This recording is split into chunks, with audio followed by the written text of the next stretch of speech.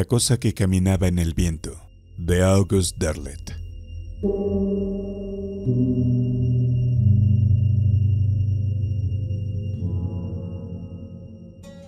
Declaración de John Dalhousie, jefe de división de la Real Policía Montada, emitido desde alojamientos temporales en Avisa Camp, Manitoba, 31 de octubre de 1931.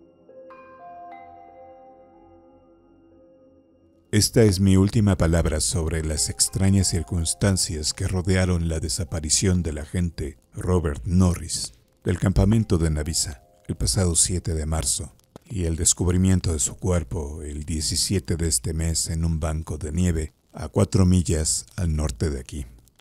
La prensa me ha acusado continuamente con preguntas que, en circunstancias peculiares, no pude y no quise responder. Pero la duda de mis superiores ahora me lleva a publicar el informe que Robert Norris me hizo el 27 de febrero de 1931. Mi actitud se verá claramente cuando se lea el final de esta declaración.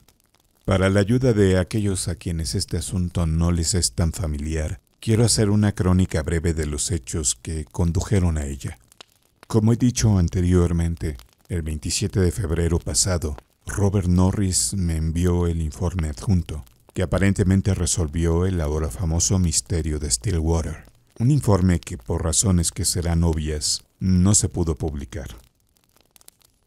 El 7 del mes siguiente, Robert Norris desapareció sin dejar rastro. El 17 de octubre de este año, su cuerpo fue encontrado en lo profundo de un banco de nieve a cuatro millas al norte de aquí. Esos son los hechos conocidos. Adjunto aquí el último informe que me hizo Robert Norris.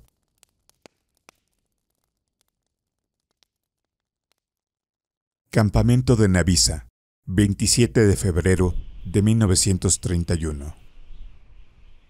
En vista de la extrema dificultad de la tarea que tengo ante mí, al escribirles lo que sé del misterio en Stillwater, me tomo la libertad de remitir un artículo que apareció en el Navisa Daily con fecha del 27 de febrero de 1930, exactamente hace un año de este escrito. Campamento de Navisa, 27 de febrero. Una historia aún no verificada sobre la ciudad de Stillwater, en el camino de Olasey, a 30 millas por encima de Nelson, ha llegado a los editores del Daily. Se dice que no se puede encontrar un solo habitante en el pueblo y que los viajeros que vienen por el distrito no pueden encontrar signos de que alguien lo haya abandonado. El pueblo fue visitado por última vez en la noche del 25 de febrero justo antes de la tormenta de esa fecha. Desde esa noche, según todos los informes, no se ha sabido nada de los pobladores de aquella localidad. Recordarán este caso de inmediato como el misterio sin resolver que nos causó tantos problemas y que nos valió tantas críticas inmerecidas. Algo sucedió aquí que arroja una luz tenue sobre el misterio de Stillwater brindándonos algunas pistas vagas, pero de tal naturaleza que no pueden ayudarnos en absoluto, especialmente en lo que respecta a evitar las críticas de la prensa. Pero déjame decirte esto desde el principio, tal como sucedió, y podrás verlo por ti mismo. Estaba con el doctor Jameson, en cuya casa en el extremo norte de la aldea me he estado quedando durante cada vez más que me detenía en el campamento de Navisa. Llegué al campamento a primera hora de la tarde y apenas me había acomodado cuando sucedió. Había salido por un momento. No hacía frío, ni tampoco estaba particularmente cálido. Soplaba un viento tenue, pero el cielo estaba despejado. Mientras estaba allí, el viento pareció subir repentinamente, hasta volverse sorprendentemente frío. Miré hacia el cielo y vi que muchas de las estrellas habían sido borradas.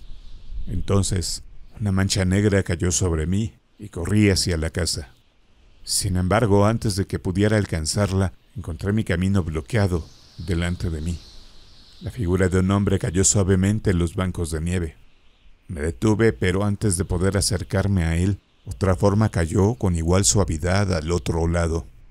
Y por último cayó una tercera forma, pero esta no llegó gentilmente. Fue arrojada a la tierra con gran fuerza. Puedes imaginar mi asombro. Por un momento confieso que no supe qué hacer. En ese breve espacio de vacilación, el viento repentino bajó y el fuerte frío dio paso a la suavidad comparativa de la tarde. Luego corrí a la forma más cercana y me di cuenta de inmediato de que el hombre seguía vivo y aparentemente no estaba herido. El segundo, también un hombre, estaba ileso, pero el tercer cuerpo era el de una mujer. Ella estaba muy fría, su piel al tacto estaba helada hasta un grado asombroso y tenía la apariencia de haber estado muerta durante mucho tiempo. Llamé al doctor Jameson y juntos logramos llevar a los tres a la casa. A los dos hombres los acomodamos de inmediato y para la mujer llamamos al forense, el único otro médico en el campamento de Navisa. También tuvimos que recurrir a otra ayuda y el doctor Jameson llamó a dos enfermeras. Un examen rápido demostró que los hombres estaban, como habíamos conjeturado, muy poco heridos. El mismo examen reveló otro punto sorprendente, la identificación de estos dos hombres. Recordarán que aproximadamente en el momento del caso de Stillwater, en la noche del 25 de febrero, de hecho, dos hombres habían dejado Nelson para ir a Stillwater y habían desaparecido tan misteriosamente como los habitantes de esa ciudad. Estos dos hombres habían dado sus nombres en Nelson como Allison Wentworth y James MacDonald. Los documentos de identificación encontrados en los cuerpos de estos extraños visitantes desde arriba demostraron de manera concluyente que al menos dos de los hombres que se suponía que estaban en Stillwater en el momento en que ocurrió la misteriosa tragedia, habían regresado, ya que nuestros visitantes no eran otros que Wentworth y MacDonald. Puede visualizar fácilmente con qué anticipación busqué una solución al misterio de Stillwater de estos dos hombres cuando una vez recuperaron la conciencia. En consecuencia, resolví vigilar la cama. Los médicos me dijeron que Wentworth mostró primero los mejores signos de salir de su delirio inconsciente, y tomé mi lugar en su lado, junto a una de las enfermeras, lista para eliminar cualquier cosa que Wentworth pudiera decir. Poco después de tomar mi posición allí, el cuerpo de la chica fue identificado por un residente de Navisa Camp que ya había oído hablar de ella. Era Irene Masite, la única hija de Masite que dirigía la taberna en Stillwater. Esto indicaba de manera concluyente que los dos hombres habían estado en Stillwater en el momento de la inexplicable tragedia que barrió a sus habitantes de la faz de la tierra, y muy probablemente estaban en la taberna en el momento en el que ocurrió, tal vez hablando con esta chica. Naturalmente, estaba profundamente perplejo en cuanto a dónde podrían haber venido los hombres y la chica, y también porque los hombres estaban prácticamente ilesos y ella muerta durante mucho tiempo, según afirmó el doctor Jameson, tal vez preservada por el frío. ¿Y por qué y cómo llegaron los hombres suavemente a la tierra? ¿Y por qué la niña fue literalmente arrojada al suelo? Pero todas estas preguntas desconcertantes fueron en el momento puestas en un segundo plano. Mi objetivo en primer lugar era resolver el misterio que rodeaba el caso de Stillwater. Como ya he escrito, ocupé mi lugar al lado de la cama de Wentworth y escuché con atención cualquier indicio que pudiera caer en su delirio, ya que cuando su cuerpo recuperó temperatura, comenzó a hablar, aunque no siempre de manera inteligible. Se podían distinguir algunas oraciones y frases, y estas fueron anotadas por la enfermera en forma abreviada. Copio algunas de las oraciones que escuché cuando nos inclinamos sobre la cama. Caminante de la muerte, Dios de los vientos, tú que caminas sobre el viento, adoramos te, adoramos te, adoramos te. Destruye a estos infieles, tú que caminas con la muerte, tú que pasas sobre la tierra, tú que has vencido el cielo, la luz brilla desde las mezquitas de Bagdad. Las estrellas nacen en el Sahara. Lhasa está perdida. Adora, adora, adora al Señor de los vientos. Estas enigmáticas palabras fueron seguidas por un profundo silencio, durante el cual la respiración del hombre pareció muy irregular. El doctor Jameson, que estaba allí, también lo notó lo comentó como una mala señal, aunque no había indicios de lo que podría haber provocado esta repentina irregularidad, a menos de que fuera una emoción inconsciente. El revoltijo delirante mientras tanto continuó, aún más desconcertante que antes caminante del viento, dispersa las nieblas sobre Inglaterra. Adoramos te. Es muy tarde para escapar, Señor de los vientos. Vuela, vuela, o Él vendrá. Sacrificio, sí, un sacrificio debe hacerse. Primera elegida, Irene, inclínate oh caminante del viento, barre sobre Italia cuando florecen los olivos y los cedros del Líbano, azules en el viento, estepas rusas barridas por el frío, sobre la Siberia infestada de lobos, África, Blackwood ha escrito sobre estas cosas, y hay otros, los viejos elementales, y de la vuelta Leng, Leng perdida, Leng oculta, de donde surgió el caminante del viento, y otros. El doctor Jameson estaba muy interesado en la mención de elementales, y como parecía sobre algo de ellos, le pedí que me explicara. Parece que todavía existe una antigua creencia de que hay espíritus elementales, de fuego, agua, aire y tierra, espíritus todopoderosos, sujetos a nadie, espíritus realmente adorados en algunas partes del mundo. Su entusiasmo me pareció bastante exagerado y le hice preguntas. Es muy difícil para mí hacer una crónica de sus respuestas. Incluso al principio dudé en creer al doctor Jameson, aunque me refirió un marco teórico aceptable. Él asegura haber conocido a varias personas que podrían dar cuenta de estos fenómenos si quisieran. Recuerdo que varios informes anónimos de naturaleza altamente sugestiva nos fueron entregados, pero apenas me atreví a sospechar que había detrás de ellos en ese momento. Parece que los habitantes de Stillwater practican un curioso culto no de ningún dios que conozcamos, sino de algo que llamaban elemental del aire. Una cosa grande, me dicen, bajamente como un hombre, pero infinitamente diferente a él. Los detalles son muy distorsionados y poco confiables. Se dice que fue un elemental, pero hay indicios extraños de algo de una edad increíble que surgió en el extremo norte, en una meseta congelada e impenetrable allá arriba. De esto no puedo aventurar nada.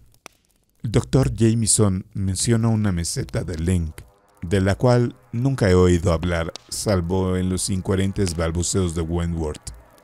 Pero lo más horrible, lo más increíble del misterio de este extraño culto comunitario es la sugerencia de que la gente de Stillwater hizo sacrificios humanos a su extraño dios.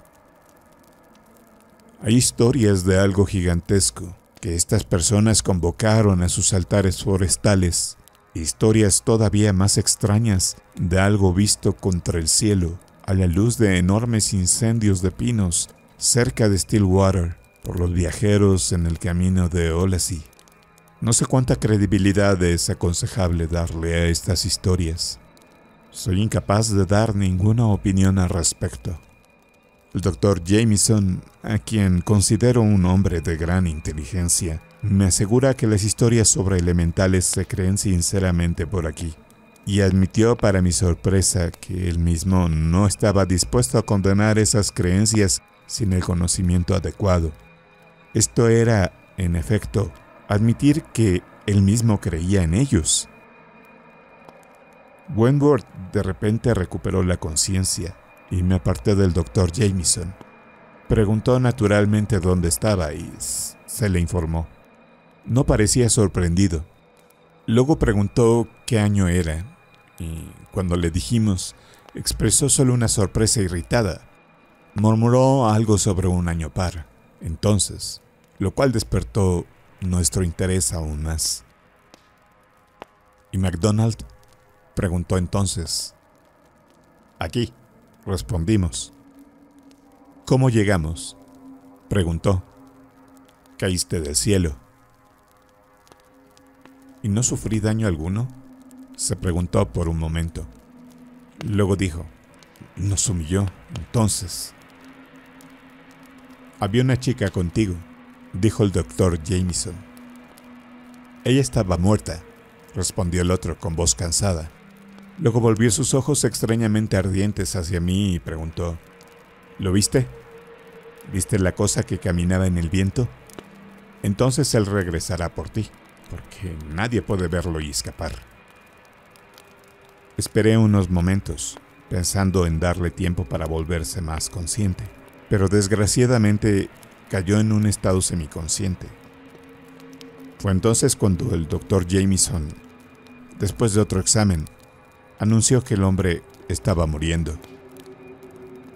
Esto fue naturalmente un gran shock para mí, y este se enfatizó cuando el doctor Jameson agregó que McDonald probablemente moriría sin recuperar conciencia alguna. El médico no podía adivinar la causa de la muerte, más allá de referirse vagamente a la suposición de que tal vez estos hombres se habían acostumbrado tanto al frío que ya no podían soportar el calor. Al principio no podía adivinar el significado de esta declaración, pero de repente me di cuenta de que el doctor Jameson simplemente estaba aceptando la idea que se nos había ocurrido a todos, de que estos dos hombres habían pasado el año tal vez en una región tan fría que ahora el calor los afectaría de la misma manera que a nosotros el frío extremo. A pesar del estado semiconsciente de Wentworth, lo interrogué y, sorprendentemente, obtuve una historia bastante confusa, que he armado lo mejor que pude a partir de las notas que tomó la enfermera y de mi propia memoria. Parece que estos dos hombres, Wentworth y MacDonald, llegaron a Stillwater bastante tarde, debido a una tormenta repentina que surgió y los dejó fuera del camino por un corto tiempo. Los miraron con evidente disgusto en la taberna, pero insistieron en quedarse a pasar la noche, lo que el encargado de la taberna, Masité, no parecía gustarle. Pero les pidió una habitación, les pidió que permanecieran allí y que se mantuvieran alejados de la ventana. Estuvieron de acuerdo, a pesar del hecho de que consideraron la propuesta del propietario como algo fuera de lo común. Apenas habían entrado en la habitación cuando la hija del posadero, esta chica, Irene, entró y les pidió que la alejaran de la ciudad rápidamente. Ella había sido elegida, dijo, para ser sacrificada al caminante del viento el elemental que se dice que adoraba a la gente de Stillwater, y ella había decidido huir, en lugar de morir, por un dios pagano, de cuya existencia incluso ella dudaba. Sin embargo, el miedo de la chica debe haber sido lo suficientemente convincente como para impresionar a los dos hombres para que se fueran con ella. Al parecer, los habitantes habían estado trabajando recientemente contra lo que habían adorado, y su ira se había sentido. Como esa noche era la noche del sacrificio, los extraños estaban mal vistos. De acuerdo con las sugerencias que hizo Wentworth, describió que la gente de Stillwater tenía grandes altares en los bosques de pinos cercanos y que adoraban lo que llamaban caminante del viento. También hubo algunos murmullos muy incoherentes sobre la cosa en sí pensamientos vagos y horribles que parecían obsesionar a Wentworth. Algo sobre la altura imponente de la cosa, vista vagamente contra el cielo en el resplandor infernal de los fuegos nocturnos. Del discurso incoherente y problemático de Wentworth, solo hubo una declaración positiva cuya esencia era simplemente que los tres, Wentworth, MacDonald y la chica, huyeron de los fuegos de sacrificio y de la aldea, y que habían sido atrapados en el camino hacia Nelson por la cosa, que los recogió y se los llevó. Después de esta declaración, Wentworth se volvió cada vez más incoherente. Balbuceó una horrible historia sobre la cosa que cayó tras ellos mientras huían aterrorizados por el camino de Olassie, y también dejó escapar algunos detalles terribles del misterio en Stillwater. Pero por lo que pude entender, el caminante del viento debió haberse vengado de los aldeanos, no solo por su frialdad previa hacia él, sino también por la huida de Irene Masité, que había sido elegida para el sacrificio. En cualquier caso, entre gemidos histéricos y estremecedoras adulaciones de la cosa, surgió del distorsionado discurso de Wentworth una imagen gráfica y terrible de una monstruosidad gigante que entró en la aldea desde el bosque, arrastrando a la gente hacia el viento, uno por uno. No sé cuánto de esto debía contarte, ya que puedo entender tu actitud. Podría haber sido un animal, ¿crees? ¿Algún animal prehistórico? Escondido durante años en las profundidades del bosque cerca de Stillwater, que tal vez se preservó vivo por el frío y, y ha revivido nuevamente por el calor de los fuegos gigantes, para convertirse en el dios de la loca gente de Stillwater? Esta me parece la única otra explicación lógica, pero aún quedan tantas cosas que no se tienen en cuenta que creo que sería mucho mejor dejar el misterio de Stillwater entre los casos sin resolver. MacDonald murió esta mañana a las 17. Wentworth no había hablado desde el amanecer, pero reanudó poco después de la muerte de MacDonald, repitiendo nuevamente las mismas oraciones. Parece creer que fue llevado por esta cosa del viento, este elemental de aire, aunque es bastante seguro que cualquiera de estos hombres desaparecidos fue reportado en algún lugar durante el año pasado. Su historia puede ser simplemente el producto de una mente sobrecargada, una mente que sufre un gran shock, y el conocimiento aparentemente vasto de los lugares ocultos de la Tierra puede haberse derivado de los libros. Digo que puede haberse derivado, porque en vista de los murmullos sugerentes, casi convincentes de Wentworth, se convierte en una posibilidad tentativa. No conozco ningún libro que narre los ritos místicos en la lamacería en el Tíbet, que cuente las ceremonias secretas de los monjes de Lhasa. Tampoco sé de ningún libro que revele la vida oculta del limpa africano, ni de ningún panfleto o monografía, ni siquiera insinuando los diseños prohibidos y malditos del pueblo Cho-Cho de Birmania, ni de nada escrito que sugiera que hay hombres híbridos que viven bajo la nieve y el hielo de la Antártida que existe hoy un reino perdido del mar, Rilie, donde Cthulhu duerme en lo profundo y espera levantarse y destruir el mundo. Tampoco he oído hablar de la meseta de Leng, rechazada y prohibida, donde los antiguos alguna vez gobernaron. No creo que exagere, nunca he oído hablar de estas cosas antes, pero Wentworth habla como si hubiera estado allí, incluso insinuando que estas personas misteriosas lo han alimentado. De las escuché bajos indicios y, por supuesto, recuerdo haber visto una vez una filmación que contiene lo que el productor llamó Thomas de Limp desaparecido de África. Pero de las otras cosas no sé nada. Y si puedo asumir algo por el estremecimiento de horror en la voz semiconsciente de Wentworth mientras hablaba de estas cosas ocultas, no quiero saber nada. Una referencia constante, también en los murmullos de Wentworth, a un Blackwood, por quien evidentemente se refería al escritor Algernon Blackwood, un hombre que pasó algún tiempo aquí en Canadá, dice el doctor Jameson. El doctor me dio uno de los libros de este hombre y me señaló varias historias extrañas de elementales del aire, historias de carácter notablemente similar al curioso misterio de Stillwater, pero nada tan paradójicamente definido y vago. Puedo referirte a estas historias si aún no las conoces.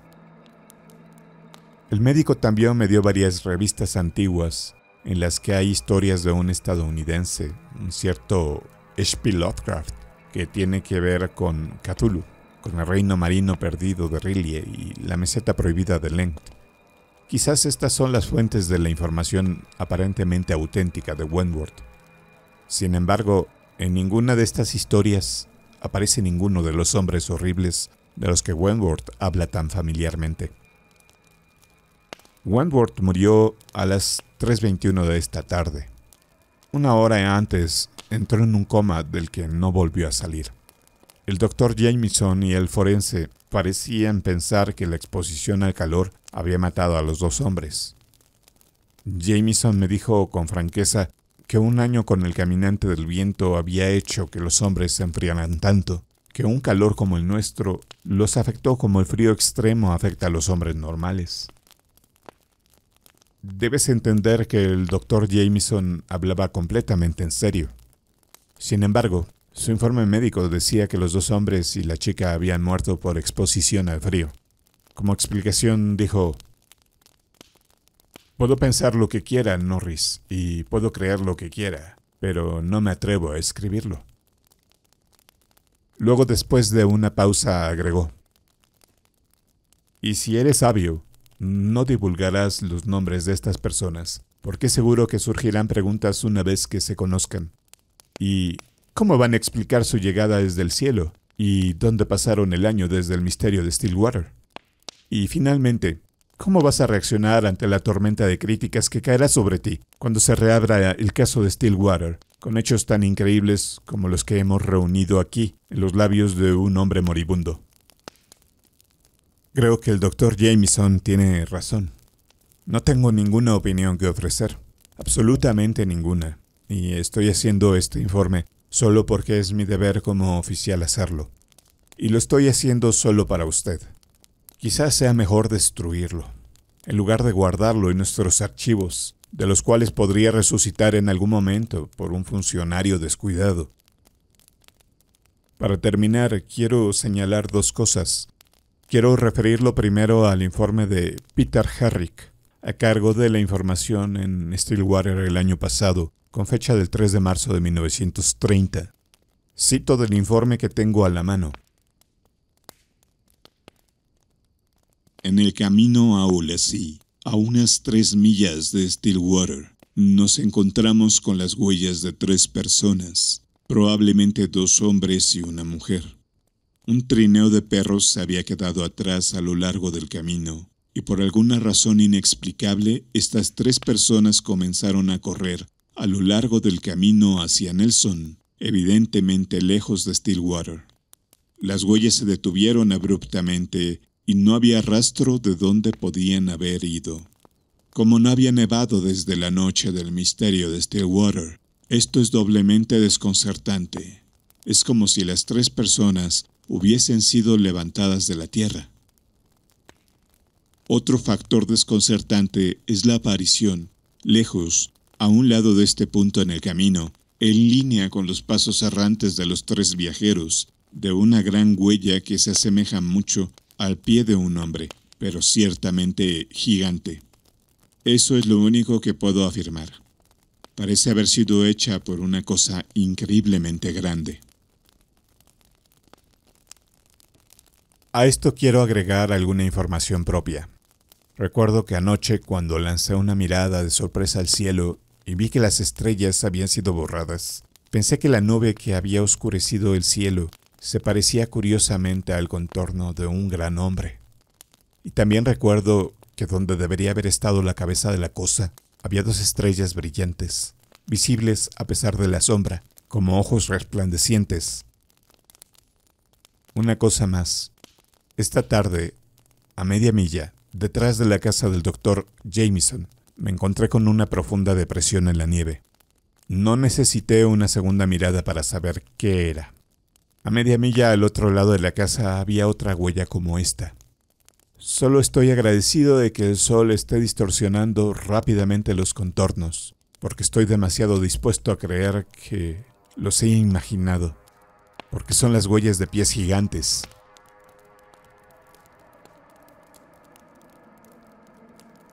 Y así termina el extraño informe de Robert Norris. No lo recibí hasta que me enteré de su desaparición. El informe me fue enviado el 6 de marzo. Bajo la fecha del 5 de marzo, Norris garabateó un breve mensaje final con una caligrafía que apenas es legible. 5 de marzo. Algo me persigue. No ha pasado una noche de descanso desde los hechos en Navisa Camp. Siempre he sentido ojos extraños, horribles pero invisibles, que me miran desde arriba.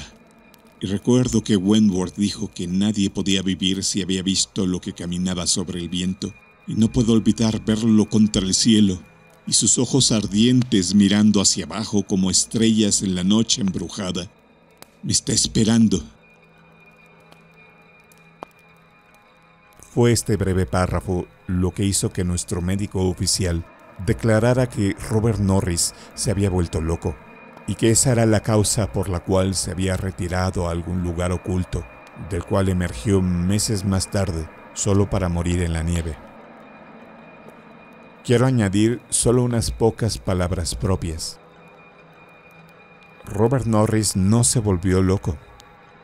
Uno de los hombres más minuciosos, más hábiles bajo mis órdenes, e incluso durante los terribles meses que pasó en lugares lejanos, estoy seguro de que no perdió la posesión de sus sentidos.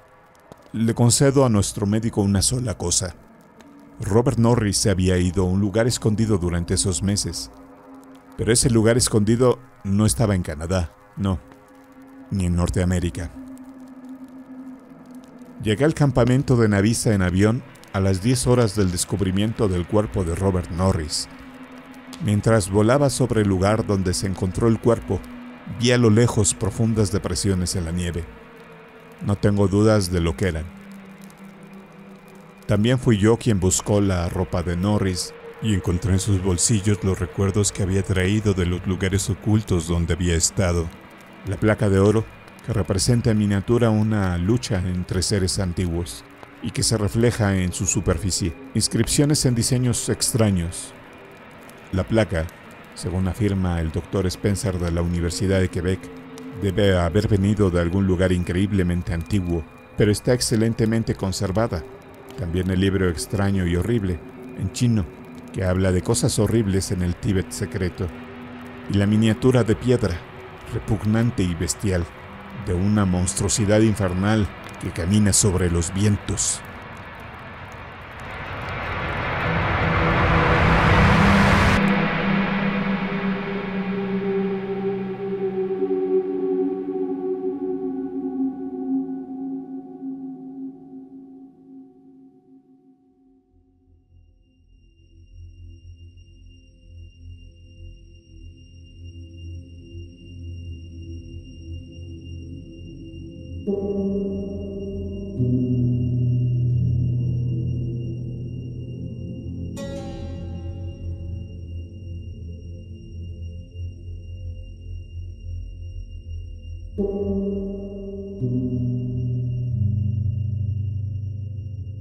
Este cuento ha sido posible gracias a los patrocinadores que aportan a través de Patreon. Si estás interesado en apoyar, por favor, visita patreon.com diagonal el abuelo kraken. Sigue escuchándome a través de YouTube, Facebook, iBox, iTunes, Spotify, Deezer, TuneIn Radio y Amazon Music. Encuentra los links en la descripción. Agradezco a Ram Oluger, Abraham Martínez, Mario Reyes, Javier Matis, Roal Torres, Isaac Espinosa, Diego Curiqueo, Alberto Mejía, By Prims, Raz Wolf, Pavel Gómez y Carla Fraustro. Se despide hasta el siguiente audiolibro El abuelo Kraken. Hasta la vista.